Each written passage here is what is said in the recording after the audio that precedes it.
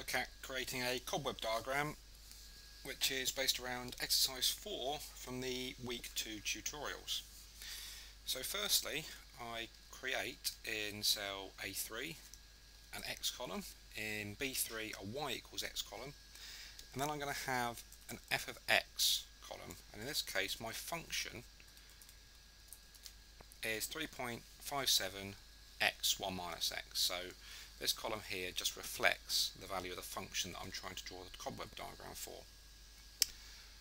I'm going to start with the value of x being 0 and I'm going to increase that value by 0.05. The smaller that number is, 0.05, the more accurate your diagram will be. Make it larger, the less accurate your diagram will be. So I'm going to copy that down until I've got the value of 1. So you notice how x increases by 0.05 each time. Now that value there, y equals x, I'm just going to use that formula there to ensure that I get the same same numbers in each particular column.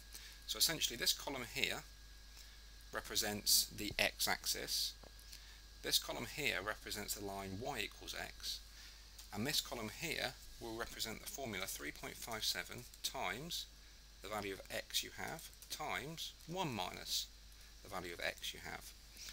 So that formula there is just Excel's way of writing that particular thing there and I've referred it directly to that cell. So I hit return and now I can copy that down and I have the function values at each of those particular points. Now this number here should actually be 0 but Excel's rounding has only got it to being 0 up to a certain number of decimal places but that won't actually affect what's going on.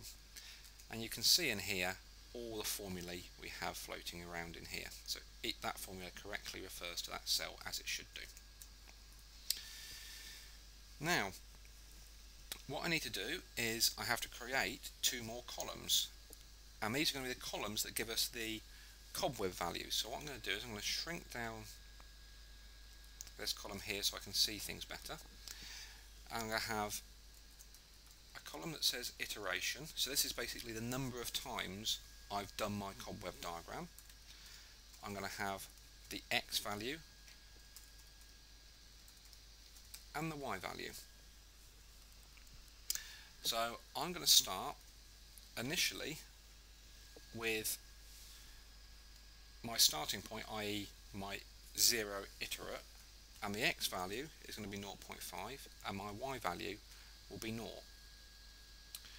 So this corresponds to me drawing or picking a point on the x-axis before I actually do my cobweb diagram. Now, after I do one, I want to work out where that vertical line goes. Well, in this particular case, the x value will stay the same because I just draw a vertical line up from that particular point. But the y value, now that becomes the value of the function at the x value I have. So I entered that particular formula there. Now, to help me actually do this when I'm copying it down, the formula, rather than referring to that one there, will actually refer to the cell above. And this will help, the reason I do this is because it helps me when I want to copy these formulae down. So that now gives me that's my starting point, and that corresponds to the point that I draw the vertical line up to. Now, I want to do another iteration. So, to do that, the x-coordinate becomes the old y-coordinate, and the y-coordinate remains the same.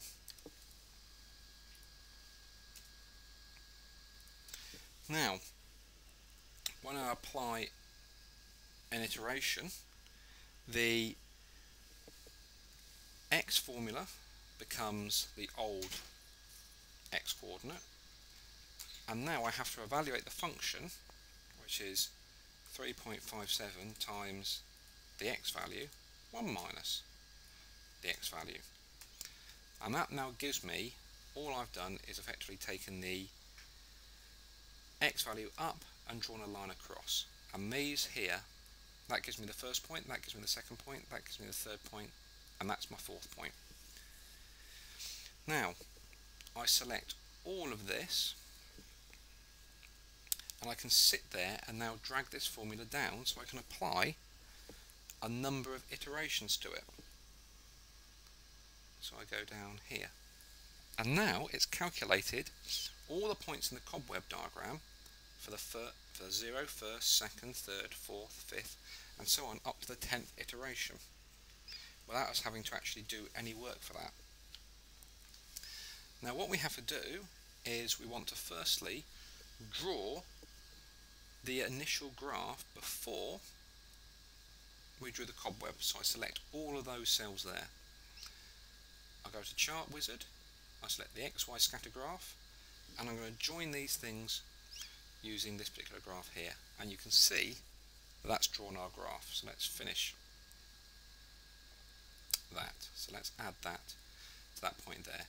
There's the line y equals x, there's our function, and it's drawn it nice and clearly for us. Now, to that I want to add the cobweb data. So what I need to do is I need to right click in that particular area there and I need to go to source data. So I right click on the grey area of the graph and go to source data. So now what I need to do is I need to select series and I need to add one. I'm going to call this cobweb.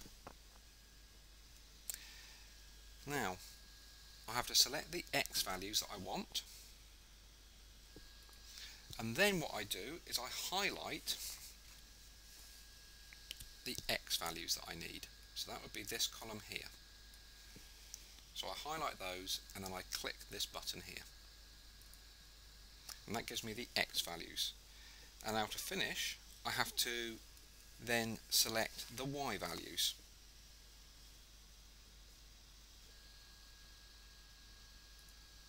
So the Y values will be these in here. And again, I select that box there. And you can now see that it's drawn in our cobweb diagram. So now I'm just going to click OK and there's our cobweb diagram. So you can see there's my starting point 0.50 which corresponds to that point there.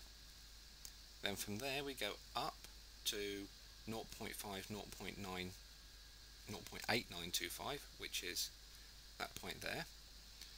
We then go across to there's two points very close together so it's very difficult to actually find them.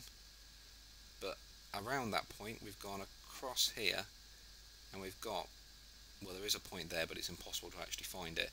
0.925925 which is that point there.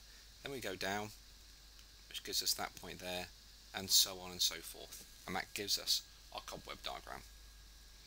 Your task is now to draw similar cobweb diagrams where this function here is changed. So you have to redo your cobweb diagram and your function to reflect that change.